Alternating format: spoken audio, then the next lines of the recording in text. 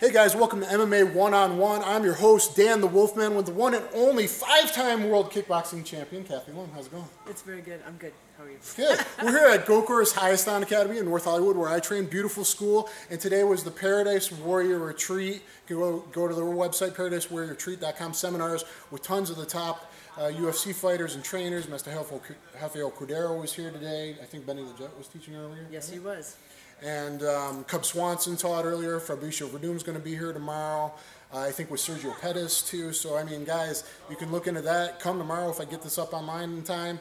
And uh, Kathy Long's here. What are you doing here? You're supporting and training and. I'm supporting and training and learning. Um, I'm not one to think that I know everything, so there's always room to learn more stuff. There, is there anything particularly you liked uh, uh, learning today? Any tricky set, rapid fire punches, high volume striker? There's some there's some really good striking girls at 125. I think. Awesome. Looking forward to it.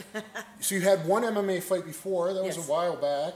Back what, in 09. What's making you want to get out there and do this again? Well, I after my fight in 09, I took a little bit of a hiatus. Um, then I went, got back into training. I was at CSW with Erik Paulson, and I got my knee injured. Okay. And uh, it took me months to scrape together money for surgery. And then, of course, months and months of recovery. And then I had a breakup of a long relationship. And, you know, years go by, and I think, wait a minute, what is wrong here? My knee is 100%. What am I doing? So, you know, I've got an itch. You like competing. You got the I, itch, you got the fire back, and you want to do it again. Huh? Absolutely. Was MMA more fun to you than, than kickboxing? Is it great? Just everything's open? Every MMA is like worlds better than Muay Thai. Universe is better than Muay Thai because there's so much you can do.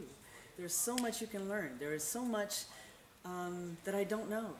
And that's the beauty of it. You know, the more I do, the more I learn, the better I will get. And I know in this game, I'm just scratching the surface on what I need to know.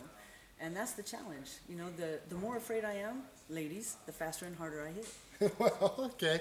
There are there there's, there's like a Miriam Nakamoto's great Muay Thai fighter. She's uh, done well in Invicta. She's two and one in Invicta. So I mean, there are some great strikers. They learn enough of the grappling game, framing the neck, getting the hips back, defending the takedowns. They can do really really well. And um, I'm, I'm assuming you've kind of dabbled. You've done a lot of self defense stuff. Did you dabble in grappling with like like Gene LeBell or Benny the Jet in the past, before your first MMA fight, before you got a little more serious about the grappling? Did you always kind of have a little bit of background? I started um, learning grappling in 1994. Okay. I trained with uh, Jean-Jacques for eight months, and then got busy, and then hit the gym. Hit, it was hit and miss for a long time. For many years, it was you know train sometimes and not train sometimes. But the basics are cemented in my muscle memory. In that respect, I don't have to worry about it. But in regards to MMA, um, that's where there are holes in my repertoire mm-hmm. that I'm filling now and uh, okay. rapidly. Did you get more? You, did you train with Gokor for the first MMA fight? I did. I trained with Gokor and Batiste Mansouri and Romeo Ram. Okay, I know Batiste. Yeah. I just uploaded some pictures he loved from like 15 years ago of him heel, heel hooking Adrian Serrano. You know, it was so. yeah, it was back and forth from Millennia to Gokor's place, and okay. those were my two main gyms. And then you got some training in with Erik Paulson too. After my after my first MMA fight, okay. then I started training with Erik. Oh, great. So you've got you've got some pretty good background, and now you just got to sharpen the tools and remember some things. And yes, yes, reacquaint myself with all kinds of fun stuff. it is fun stuff. Yes. When you put it all together. Um, wow, that's very exciting. How many kickboxing fights did you have?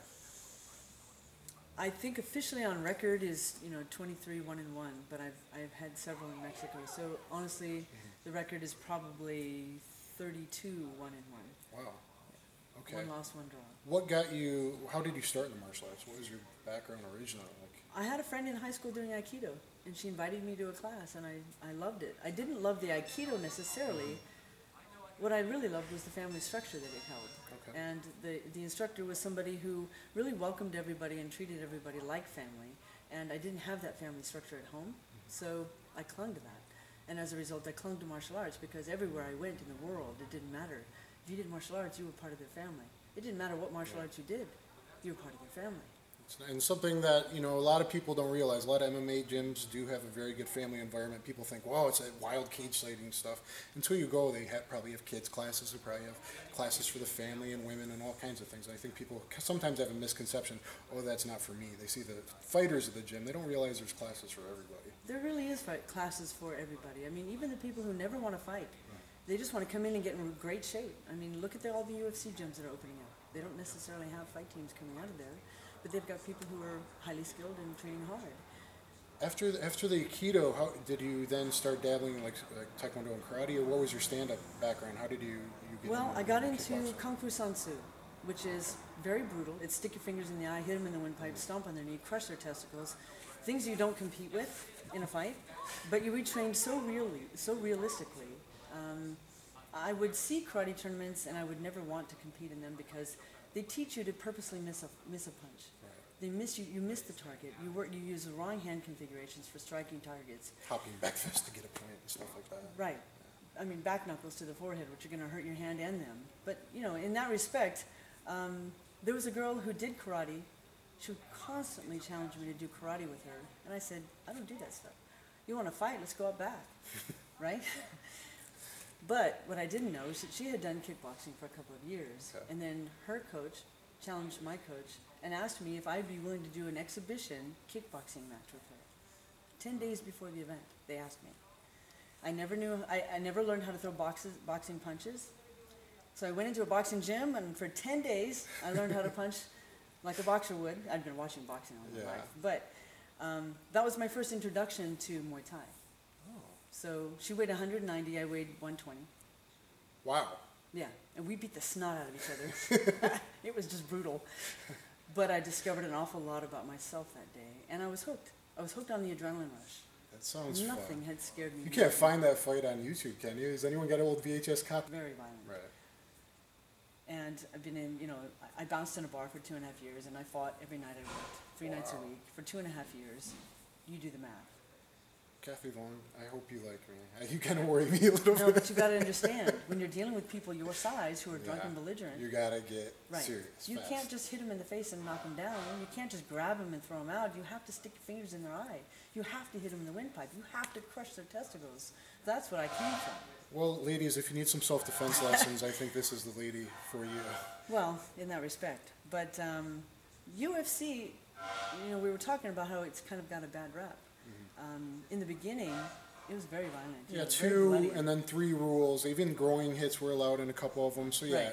and now there's like 37, maybe more rules. So It's it's it's become it's evolved to something I think really beautiful, in that it does pit your skills. You know, you, if you're not well rounded, you will get eaten alive, basically. Like right now, everybody knows me as the stand-up fighter. They don't know that I've been doing jujitsu since 1994. That's great. I can't wait to see you in Invicta. I think um, you're still a, a- big name and a pioneer in women's fighting, and Invicta's taken it to the next level. You know, getting on pay-per-view now. And, and I've been I've been a huge supporter. Yeah, go Shannon. I mean, I, I covered the first Hook and Shoot Revolution, which was the first all-women's card Wow, in really? the U.S. back in like 2002, I think. Uh, Jeff Osborne's uh, Hook and Shoot.